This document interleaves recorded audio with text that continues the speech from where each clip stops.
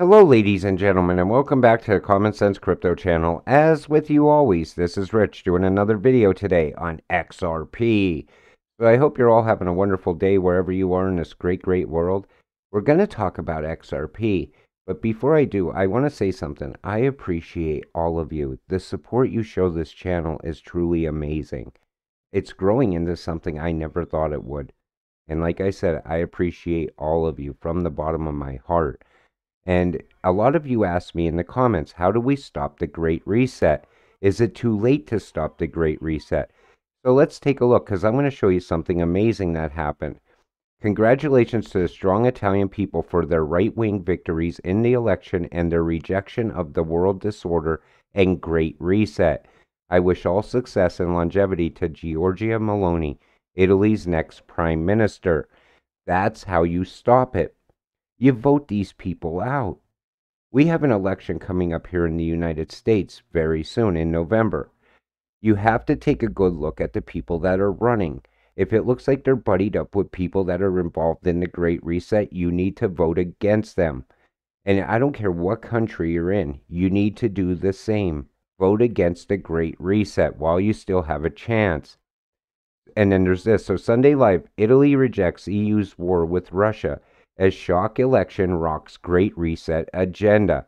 You see, they already know that's bad for the Great Reset. Again, the second largest food distribution in the world is on fire in France. Now, at this point, we know this is intentional. It's one after another. And these that's exactly how we get to the Great Reset by people doing this, causing food shortages, energy crisis. The list goes on and on. It's crisis after crisis. Power firm warns unprecedented liquidity crisis in Europe. Then there's this, and this I actually seen is going on in the US also that we're in some sort of copper shortage, but I couldn't find exactly where I seen it before.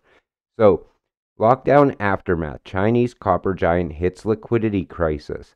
One of China's most influential commodities traders has recently asked for government and financial institutions' help after liquidity. So, China feels it also. They're also having a huge problem with their housing market and the real estate market.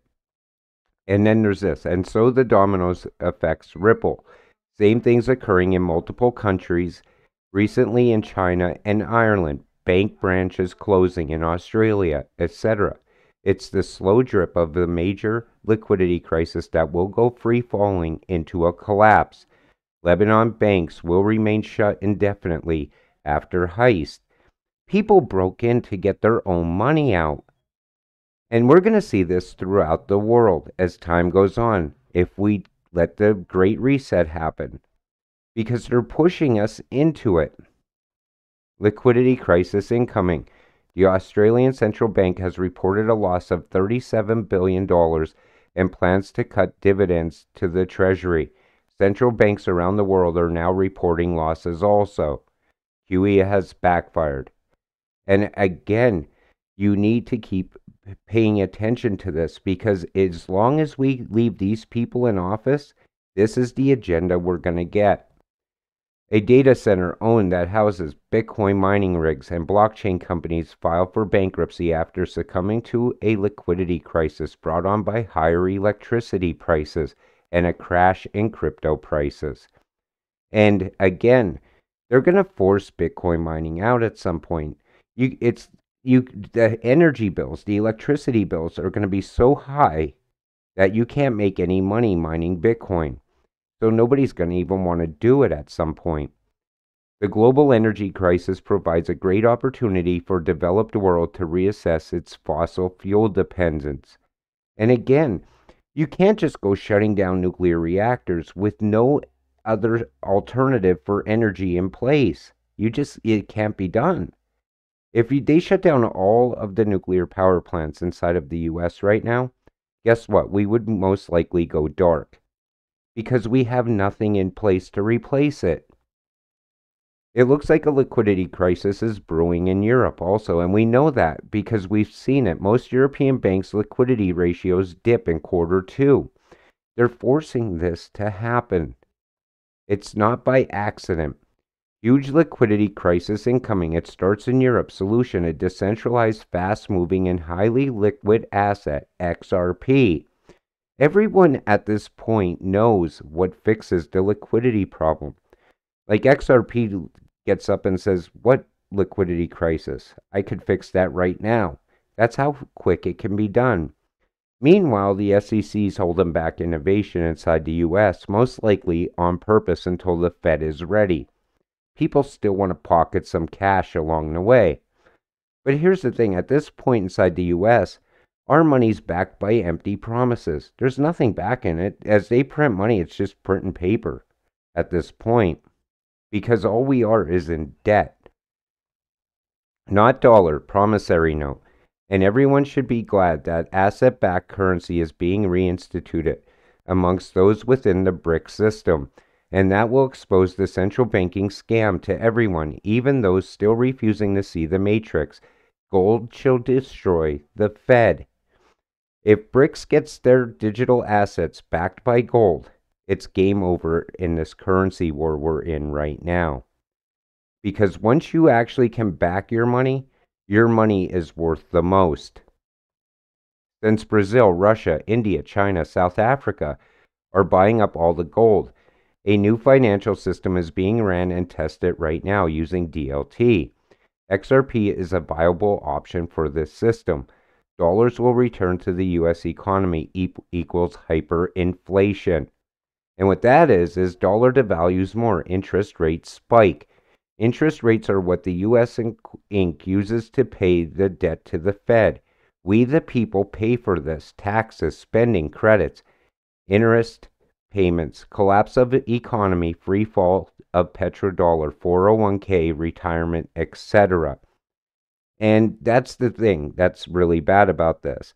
If the dollar falls, people's retirement will go with it.